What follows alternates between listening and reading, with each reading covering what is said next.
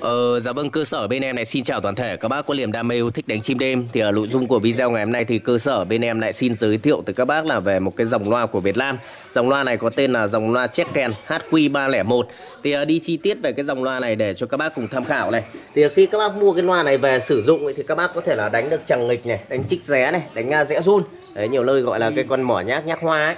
Thì về cái dòng loa này thì về cái dòng loa chính hiệu của Việt Nam thì nó sẽ có cái chữ là HQ301 đấy 5W à, về dòng loa này thì khi các bác mua ấy, thì các bác sẽ được tặng kèm là một cái chép này và một cái kèn. Đấy gọi đây gọi là cái kèn cái phễu này.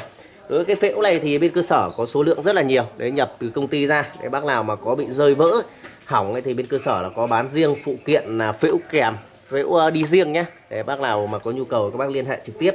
Còn à, về cái đây là cái củ chép này củ chép của Việt Nam thì cách phân biệt của nó rất là dễ. Đấy, nó sẽ có cái mũi nhọn. Đấy lên trên như thế này. Còn hàng của Trung Quốc thì nó chỉ bằng bằng lên đây thôi. Cái hàng Trung Quốc thì ờ, chất lượng âm thanh của nó sẽ không tốt bằng cái hàng check kèn này. Ờ, về cái check kèn này thì ở bên trong nó sẽ có một cái côn. Đấy, cái côn ở bên trong này các bác này. Đấy, cái côn bên trong để khi nó đẩy ra thì tiếng nó sẽ phụt ra đây.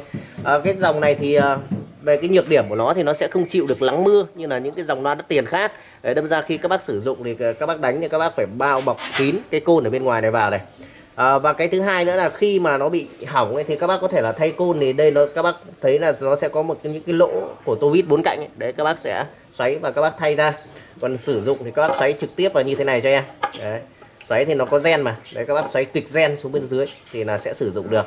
Về công suất của con này thì công suất của nó 5W thôi nó rất là nhẹ nhưng mà mức độ phóng xa của nó thì nó rất là xa đấy, các bác phóng là thường thường là sẽ được tầm khoảng à, một cây số rưỡi. Đấy khi bật hết công suất một cây số rưỡi là rất là xa rồi các bạn đấy gọi những cái luồng chim nó về. Còn số lượng thì các bác yên tâm. Đấy bên cơ sở là bán buôn bán lẻ. Đấy bác nào mà có nhu cầu mua buôn về bán lẻ lại cho anh em thợ bẫy thì các bác liên hệ để nhận được một cái giá nó tốt nhất và rẻ nhất. Còn hàng này thì à, Hiện tại thì à, bây giờ thì anh em đã ở trong miền Trung trong miền Nam sử dụng rất là nhiều. Ở ngoài miền Bắc thì bây giờ thường thường là anh em mua phụ kiện thay thế thôi cũng như là mua về để đánh sâm. Đấy hiện tại thì ngoài miền Bắc đang còn sâm cũng như là rẽ cuối vụ, rẽ động đàn cũng khá là nhiều. Đấy thì anh em cũng sử dụng tương đối ấy.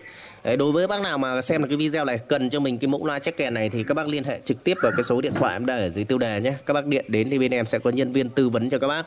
Còn à, một video thì xin giới thiệu tới các bác là về cái loa check kèn đến đây là kết thúc. Hẹn gặp lại các bác ở những cái video lần sau.